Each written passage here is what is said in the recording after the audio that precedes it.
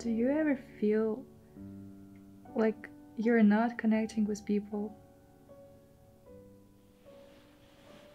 Well, like, what do you mean? Like when you're talking to them and looking into their eyes, they're thinking about something else or they're just not interested in what you're saying. Well, I try to be a person that does listen and is interested in what people are saying. Mm-hmm. Yeah. Like, I don't want them to think I don't care if I really do. Right. So I kind of get what you're saying. And there are people who don't care.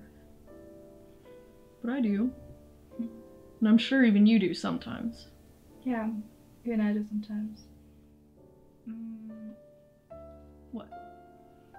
Well, nothing. No, not nothing. What is it?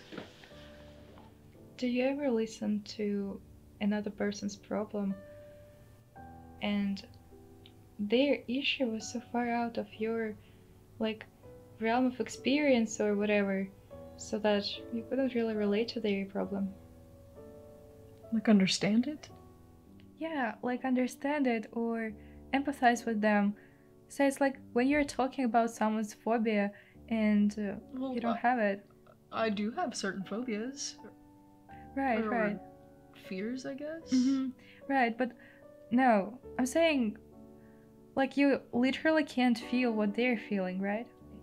Well, yeah. Right, because you're not in their head. Yes. Yeah, and they can't hook up their brains to yours.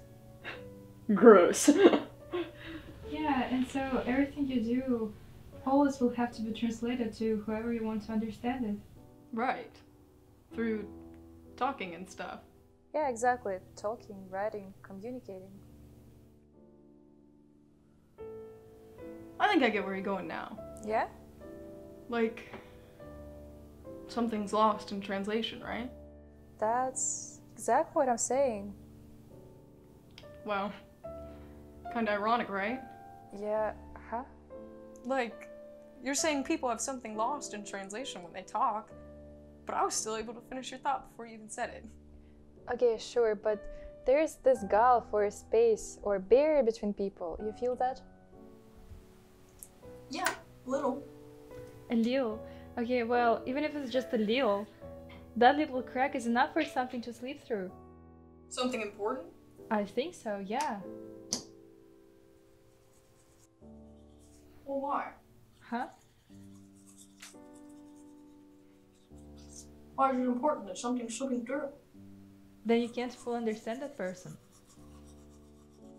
I don't know, actually. Is there any way to know that our blues are actually the same blue? Mm, I don't think so. No. Right. So does it matter? What do you mean? Does it matter that our blues may be slightly different blues? Are we wasting our time talking about how pretty the sky is then? That's different. It's not different. No. See? Because if we're talking about how pretty the sky is, how do I know the feelings I'm getting from seeing something beautiful are the same feelings you're getting? That's what I'm saying. It doesn't matter.